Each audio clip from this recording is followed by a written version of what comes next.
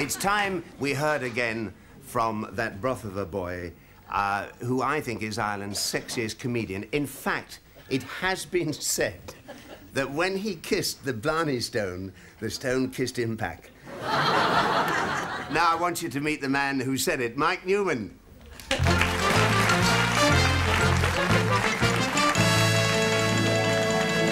What a tremendous introduction. Toxophily, there's a big word. There's a, I know another big word, huge. I know a fella actually who shot his wife with a bow and arrow, and when the judge asked him why, he said he didn't want to wake the kids. We're in London again, which is exciting. I'm in a tremendous hotel, which is one of the nice things about London. It's a magnificent place, very expensive. I'm doing it through a building society. I walked in the door, I said to the fella, go down, looking for a room. He said, with running water? I said, no, I never sleep with Indians. He said, this is the thing, the decor, it's all in red. There's a sort of a red carpet and there's a red bedspread and it's got reddish sort of wallpaper and the ceiling is sort of red. There's a red telephone keeps ringing and I can't find it. There's an English fella in Ireland on holiday staying in this hotel. In the early hours of the morning, a little head comes around the door and says, Excuse me, sir, was it seven o'clock or eight o'clock you wanted to be called in the morning? And the fella said, No, it was nine. What time is it now? To see, it's ten. There's a couple of Irish lads in London for the weekend having a ball on the booze, having a drink. They get back to the hotel, very drunk. This fella, they're about eight floors up, and this fella looks out the window, and it's been raining, and the ground is a bit wet. He says to it, Finette, Charlie, did the, did the swimming pool down there? Swim, a swimming pool. I think I'll have a swim. Jumps out, sunk onto the ground. Looks up, and his mate is like that, on top of the, on the ledge, like that. He said, you better move down a bit, this is the shallow end.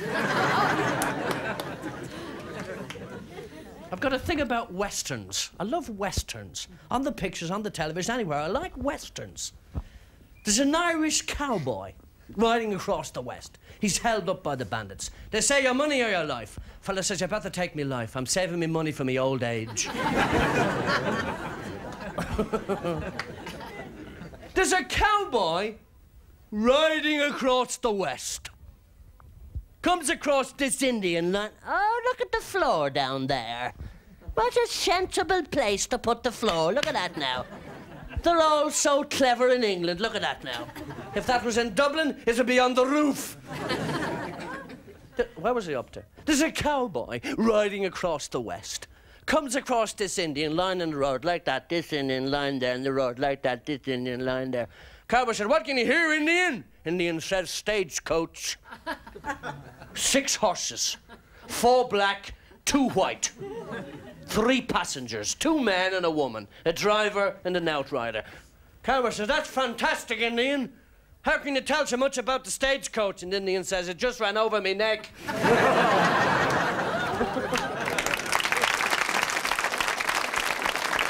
little applause, a little applause, a little applause. Thank you kindly, thank you kindly. I admire your taste. We- I've got a brother who's not as clever as I am. He's a bit of, he's not so clever. He's a, he's a, he thinks the Encyclopedia Britannica is a British made bicycle. this is a new type of comedy, no laughs. Got a job on a building site, and he's working like a devil carrying bricks up and down a ladder. Up and down, up and down, up and down. His friend says to him, You're working awful hard. I to say, I have them all here, you know. It's the same bricks all the time. He walked into the foreman. He walked into the foreman and says, One of the lads has fallen off the scaffold and he has conclusion of the brain. And the foreman said, No, I think I mean concussion of the brain. No, says I mean conclusion. He's dead. like he kept. like he kept saying to the foreman, Why don't we have tea breaks? And the foreman kept saying, Because it would take too long to retrain you.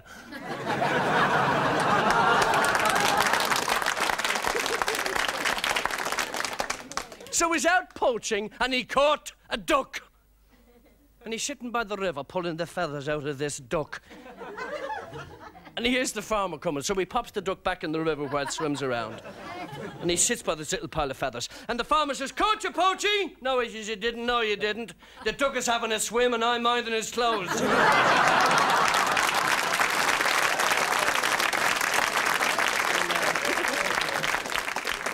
somebody waving at me again. They wave at you all the time on television. I must get off. It's been nice talking with you. Be nice to each other. Good night and good luck, good luck, good luck. Thank you very much.